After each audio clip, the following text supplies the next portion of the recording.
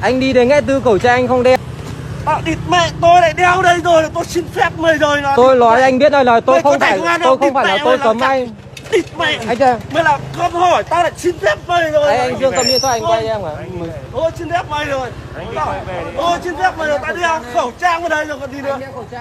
Anh đánh tôi thế này không được. địt mẹ mày bố lại xin phép mày rồi là mày mày mày mày làm cặc gì đây? Bây giờ tôi đứng ở chỗ kia Ừ, nhá. tao tao xin phép mày rồi tao đeo khẩu trang vào đây rồi. thì mày còn nói chuyện ờ tao đeo khẩu trang tao xin phép mày rồi còn gì nữa Bây giờ mẹ tao xin phép mày rồi mày có gì nữa Tôi- tôi anh mày tôi là nhá. địt mẹ mày có thể công an không? Tôi tôi mày có thể không? Địt mẹ mày có thể không địt mẹ mày thể mày dơ thể ra nào. Vụ gọi đường kia ra chờ trong quyến đi. Rồi cái giấy tờ lăng nhăng của chúng mày đã địt mẹ.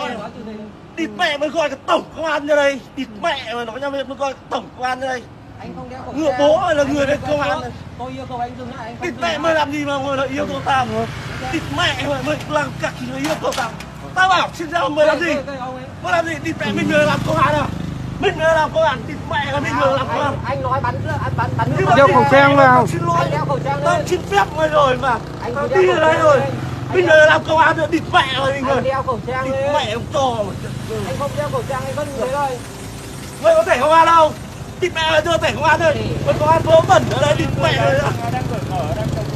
bố mày gọi là tổng công an nữa địt mẹ mày chấp cả chúng mày đây bố mày bên công an đấy. Bảo nhưng mà có chặt đâu không? Chặt đâu tôi bảo tôi bảo tôi xin phép rồi.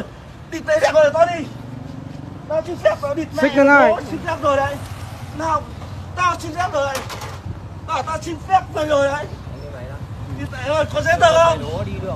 tao là công an đấy cứ gọi công an đây công an ơi mày có thể công an không Anh vừa gọi rồi, anh vừa gọi rồi. Nào, địt mẹ